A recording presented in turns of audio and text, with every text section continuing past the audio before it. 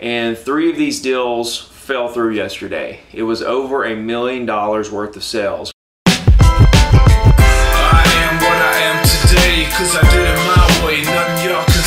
Okay, what's up everybody? Ricky Carruth here, Remax of Orange Beach, zero to diamond.com, and I'm at my office today shooting this video. It's about 7.30 before everybody gets here, but I wanted to share with you guys what happened to me yesterday. Yesterday, um, of course, before I get started, I've got 34 deals under contract, and three of these deals fell through yesterday. It was over a million dollars worth of sales. One was 550, one was 485, and one was 332. So losing, well, that's that's getting close to 1.5 million in lost deals. Okay, so let me tell you why this excites me. Um, losing deals is my oxygen. Um, it opens me up to do more deals. That's the way that I look at it. I also try to figure out what I did wrong, if I did anything wrong, or try to learn something from the experience.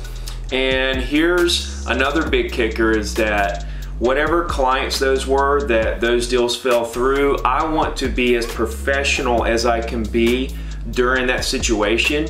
As in, if it's a client of mine that backed out, which one of them was, I don't want to come at him sideways. I don't want to come at him negatively.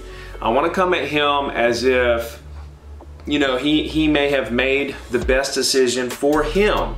And that's the way I have to look at it. He made that decision for him. He thought it was the best decision for him, and that's what I should want for him. I should want him to be completely satisfied. I should want him to back out if he does not want to do the deal. I should want that for him. Now, a lot of you guys are probably saying, well, Ricky, you have 34 pending deals right now. What does it matter if you lose three? Okay, well, at the end of the day, every single deal counts. And the reason that I have 34 deals under contract is because when I had two under contract and I lost one, this is how I thought. I thought, okay, I lost one, I only have one left now I have time to go out there and try to get five more and five more and five more and five more. How can I learn something from this situation? How can I use this future time that I'm getting back? Guys, you're getting future time back that you don't have to spend on that deal anymore. It's, it's the most amazing gift that you can have is future time back that you don't have to spend on that deal anymore.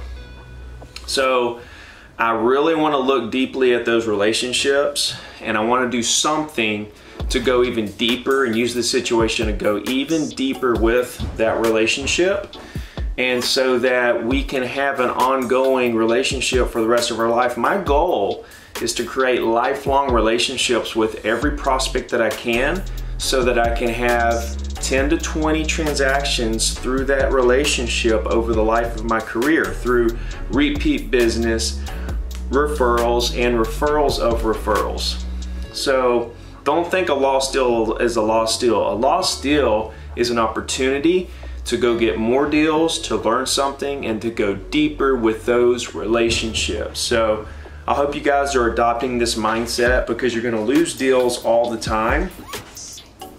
And I think that it's one of the most important things for new real estate agents and just real estate agents in general because I still see veteran agents that get upset about losing deals. And in any business, I talked to a financial advisor. He had somebody take his money away from his account and do whatever happens there. He was really upset about it. So I explained to him the benefits of that and also sulking around about a lost deal only holds you back even further so think about everything that's going on when you lose a deal.